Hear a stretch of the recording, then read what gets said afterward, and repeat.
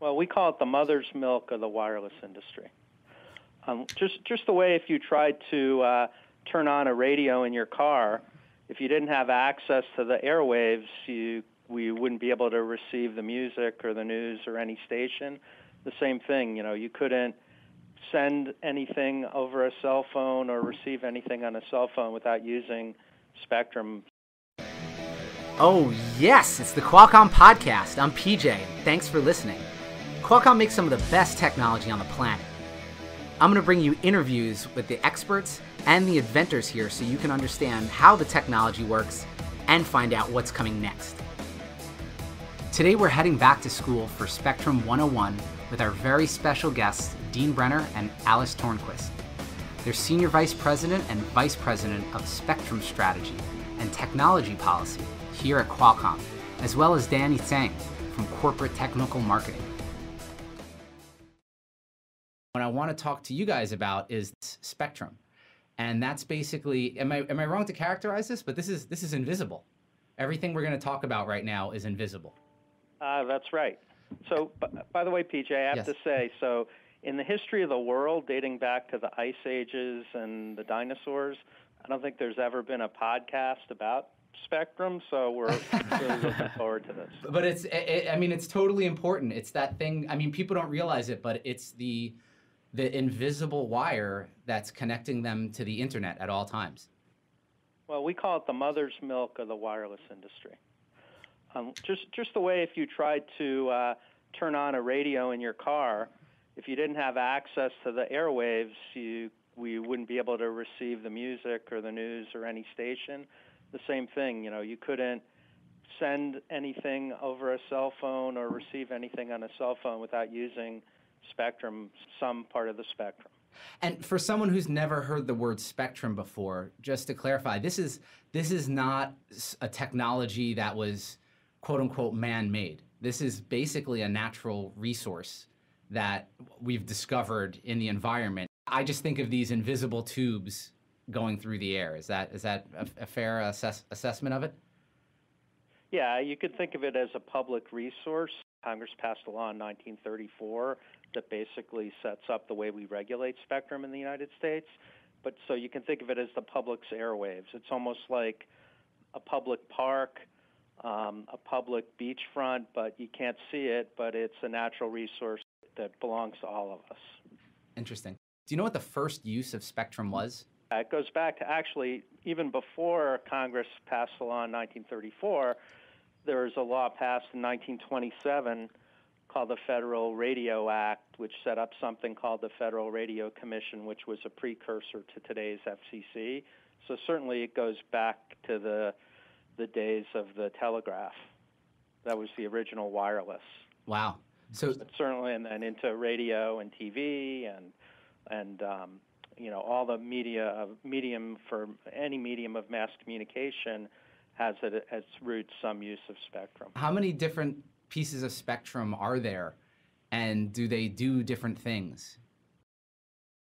Yeah, many, many, many, many different um, parts of the of the spectrum, spanning what we call very very low parts of the spectrum to very very high. And one of the things we're doing at Qualcomm is we're constantly figuring out how to use different parts of the spectrum that maybe years ago we didn't think were usable for wireless, and that's a, that's a big driver in 5G. Some of the millimeter wave spectrum we really didn't think could be used for wireless, and Qualcomm and working with our partners around the world, we've figured out ways to, to uh, make spectrum usable that in, in the past we wouldn't have thought was usable.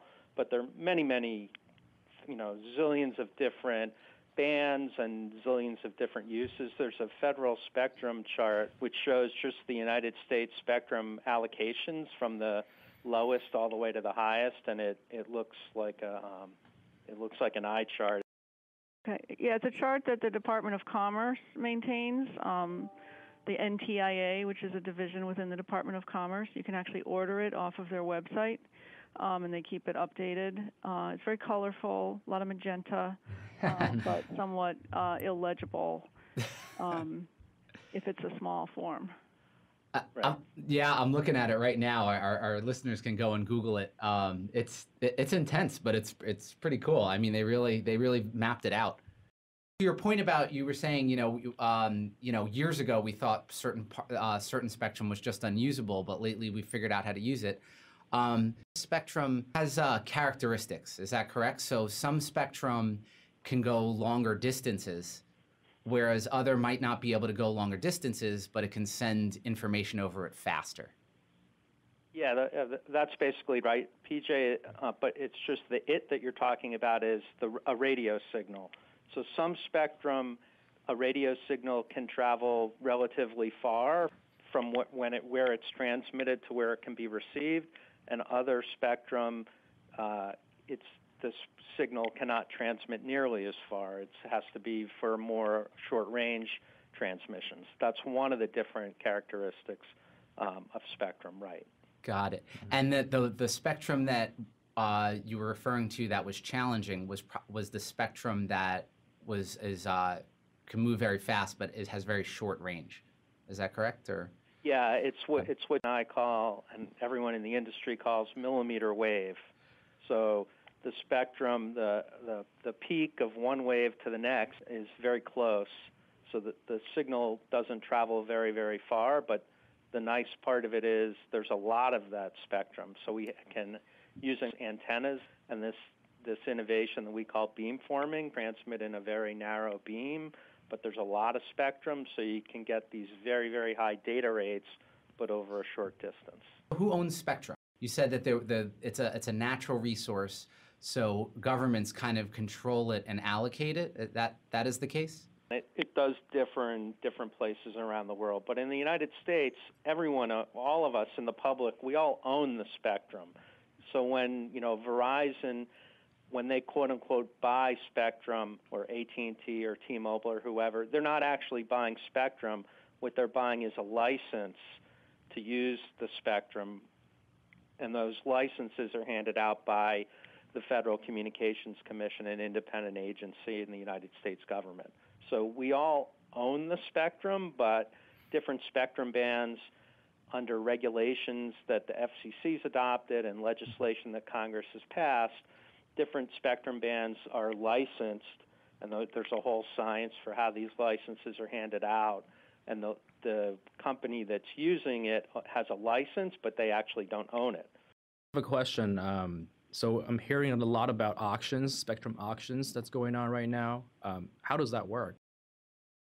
So maybe we can go back in time here a little bit. The FCC originally, when they started handing out these licenses, they used to have a trial.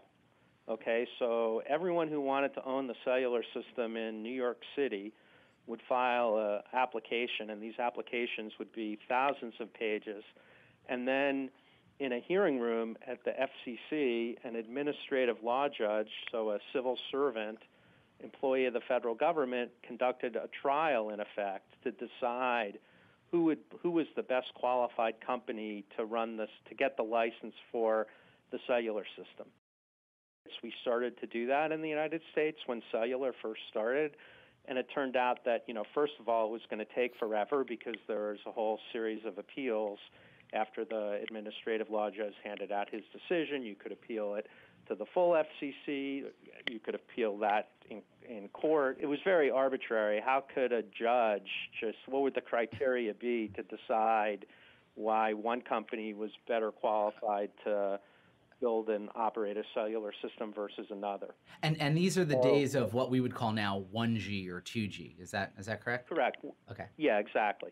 So then um, Congress got together and passed a law, and they allowed the FCC to hand out licenses for cellular and for other things by having a lottery. They invited people to apply and then uh, picked the winning applicant.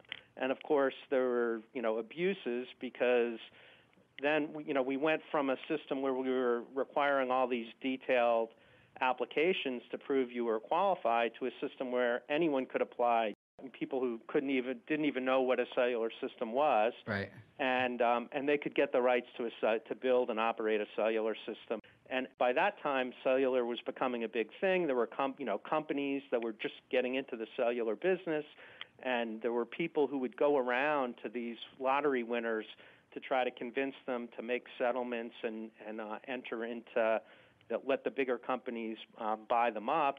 So then Congress got together in the around 1992, 1993. They passed another law that said we're going to let uh, the FCC hold auctions, and the high bidder in the auction will get the, the right to buy the license to run a wireless network on a in a given location. Gotcha. I would just add one of the key things about the auctions is that they bring in billions and billions of dollars to the federal treasury.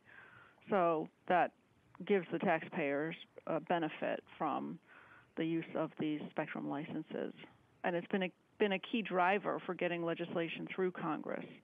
Sometimes the primary motivation to do spectrum legislation in Congress is to count the spectrum auction revenues and, and apply that to something else that Congress wants to do.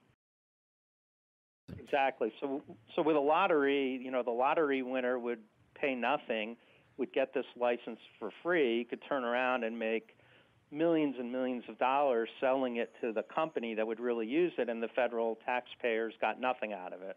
So Congress said, you know, that doesn't make any sense. If these things are going to be sold, why don't all the taxpayers get the revenue? Yeah, I mean, it seemed to work out because now we have cellular reception from coast to coast. There's still some places that don't use that system, China most notably. Uh, but you know, a large part of the world now uses this uh, auction system that's uh, worked out very, very well. Very, very well for Qualcomm in particular, because you know our interest in all of this is we want to see the new technologies get out there absolutely as quickly and as cheaply and as um, uh, as broadly as possible. In the U.S., how, how many pieces of spectrum on average does uh, a carrier have? That's a, an interesting question. They would have hundreds and hundreds of different licenses because um, depending upon the type of spectrum that the, the spectrum band, the bands are licensed either by, you know, some are done by county, some are done by metropolitan area, some are done by rural area. So, you know, no, eh, there's one exception to that. There's one piece of spectrum that there's only one nationwide license for, and that was a 700 megahertz piece of spectrum that Verizon won. So that's they have one license to put um, their uh, LTE on on this one frequency, coast to coast. Every single day, carriers are um, buying and selling and trading licenses back and forth. All of those transactions have to get approved by the FCC, and they have a sophisticated um, set of regulations and electronic procedures for doing that. But yeah, the a, a wireless carrier, a big wireless carrier, has a whole team of people, you know, maybe 20, 30, 40 people who do nothing but keep track of all their licenses. Mm-hmm. Interesting. Correct me if I'm wrong. There's a piece of spectrum that uh, is for anyone in the U.S. to make products and to, to, to experiment on. Is that correct? That would be the five gigahertz and 2.4 so, gigahertz. Um, yeah. So there are many frequencies like that. We call them unlicensed spectrum. Okay. This is spectrum that also, in the old days, people weren't thinking of using it for. Um, necessarily for wireless, but for things like garage door openers, microwave ovens, um, your personal computer. The way that spectrum works is much different. So when Verizon buys a license for a particular spectrum at a particular geographic area, no one else can use the spectrum. They get an exclusive right. That's inherent in, in the license that they would be buying. Mm-hmm. Whereas this other spectrum that we're talking about, anyone can use it, and that means no one has the sole right to use it. It looks more like a public park. I mean, I can go to the park, but so can everyone else on this podcast. And we all have to, no one gets the right to kick anyone else out of the park. We all have to just peacefully coexist. That's how this other spectrum works. Will the carriers um, be using the spectrum that they had before and just uh, using these new uh, cellular technologies over them? Like, how is it there? different from like 4G, for example? Exactly, yeah. Well, there are two kinds of spectrum that are going to be in play for 5G, that are going to be key for 5G. One is sub 6 gigahertz, and so that'll be right on top of of the gigabit LTE layer, and then the tippy top layer will be what we call millimeter wave. Whenever we launch a new technology, typically the carriers like to get new spectrum for it because they're already using their existing spectrum for all of their existing customers, right? So if they're going to have a new technology, usually they need new spectrum for that. But then what they do is over time they gradually do what we call refarming. So they take the existing spectrum and they eventually transition it over to the new technology. That happened in going from 2G to 3G, 3G to 4G, and that is certainly what we expect to happen going from 4G to 5G. This sub 6 gigahertz layer, so this is the for the 5G to get br- the broadest coverage possible. So this is the spectrum where the signal is going to travel uh, relatively far distance away from one uh, one tower to the next or from one cell to the next so that we don't need a zillion towers for this kind of spectrum. And so there are two sources of that spectrum. One is going to be new spectrum that is going to be auctioned by the FCC and auctioned by regulators around the world. And then the second is the folks at Sprint, they have this 2.5 gigahertz spectrum. It's a little bit special because although it's 2.5 gigahertz, so it's a lower form of spectrum, a sub 6 form of spectrum, they have a lot of it. So they're able to run both 4G on part of it and 5G on another part of it. In addition, uh, T-Mobile is talking about launching 5G in the 600 megahertz band. So this is a very, very low spectrum where the signal travels far, but the trade-off will be they don't have very much of it. So that's going to impact their ability to get the they won't get the fast super super super fast data rates that you could get if you had a lot more spectrum but they will have very very good coverage because the signal travels far so Yeah. this is all everything that I've just discussed is in this sub 6 gigahertz layer and then the tippy top of the you know the the top layer will be uh, millimeter wave where the spectrum of the radio signal is not going to travel very far, but there's a lot of spectrum, so you get the fastest data rates. This is where you can get, you know, three, four, five gigabits per 2nd mm-hmm. to wireless connectivity you can only dream about The, today. the fiber to the So phone. so that spectrum actually, the F in some of it is new spectrum. The FCC will just auction it, but other parts of it, the FCC auctioned years and years ago, and they gave to people before anyone was thinking about 5G. No one thought it could be used for mobile, so it was being used in some cases for kind of fixed uh, wireless using uh, old technologies that would just go from one tower to another, so kind of what we call point to point. So what the FCC did was they created new rules to allow this spectrum to be used for 5G, and they said, oh, by the way, if you already own it and you were using it for this fixed stuff, you can now use it for mobile 5G. So the folks at Verizon and to a lesser extent the folks at AT&T, they were able to get access to some of this spectrum so they won't have to go through an auction for all of it. But the FCC is kind of, you know, you can think of them like an auctioneer. So they have some of it in their inventory because some of it wasn't being used. So in addition, there'll be some auctions for that spectrum as well. Got it.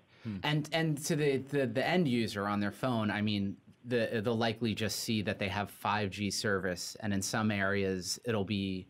a l- a l- We're, st- we're going to be in the mega fast range, and in some areas it's going to be mega mega fast. In some areas it's going to be mega fast. I would assume, just kind of like Yeah, the, the way things are now with with 4G LTE. Uh, exactly, and that's Right. why one of the things, PJ, is we don't want there to be such a sharp decline. You know, like it used to happen in the 2G days. If you lost the 2G signal, Mhm. you were just completely out of luck, or you would fall back on something called analog roam, Right. and it was just terrible. But that's why what we've done is by making improving LTE, enhancing LTE 4G so much, we're trying to avoid that kind of situation for 5G. So yeah, for the consumer, you know, you won't know which particular spectrum you're using. It won't matter to you. You're you'll see an icon on the phone. It'll say 5G. If you if you if you aren't in 5G coverage, the icon will say 4G LTE, and hopefully, no matter wh- which icon you're using, it'll be you know very very fast. Now, you, one of your roles is you go to. Uh, I mean, you literally. I mean, it sounds like a movie, but you're you go to Congress and you in, inform them on these technologies. Is that correct? Alice and I do that all the time. What is it like? I mean, uh, uh, do they the the our elected officials? You come in, you sit down, and they basically have just tons of questions about how this is going to benefit the public, or they are looking for guidance on how um, they could make the system better, or what what what is it that they they're they're usually interested in? The way Congress is set up, there are you know there are different committees that have different jurisdiction of all the various parts of the federal government. So in the Senate, the Senate Commerce Committee has jurisdiction over the FCC, meaning they they are responsible for conducting oversight and writing the laws that govern how the FCC operates. So, for example, earlier when you know Dean mentioned the auction, the, the switch to the auction process back in 1993, that would have come up through the Senate Commerce Committee in in the Senate and the House Energy and Commerce Committee in the House. So those members are pretty knowledgeable and, and focused on this area of spectrum for the most part, you know, more so than members who maybe serve on other committees.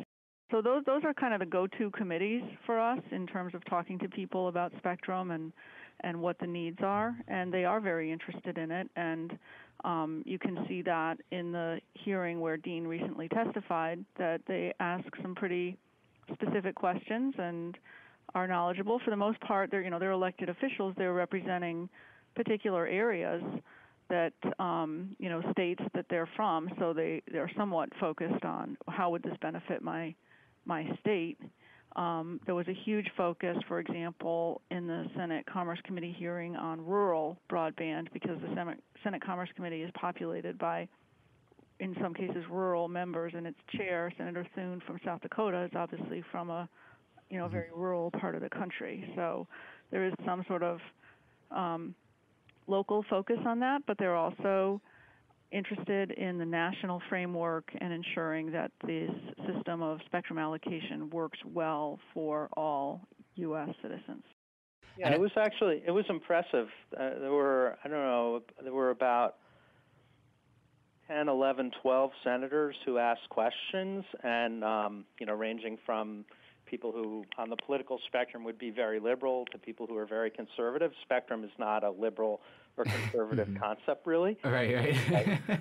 really, and so that's one of the major things that we emphasize um, whenever we speak. But it was impressive because they there were the level of knowledge was pretty high, and the level of questioning it was um, you know detailed, and people were very. It's a, a topic that, although it's technical, the politicians are very interested in it. No, I, I absolutely. That's that's pretty wild. Spectrum is the thing that's going to unite the country.